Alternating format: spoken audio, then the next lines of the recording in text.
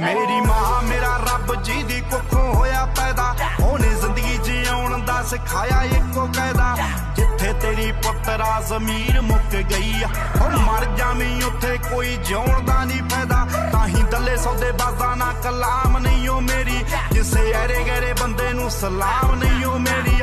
ਜਿੰਨਾ ਚਿਰ ਲਿਖੂਗੀ ਇਹ ਸੱਚ ਲਿਖੂ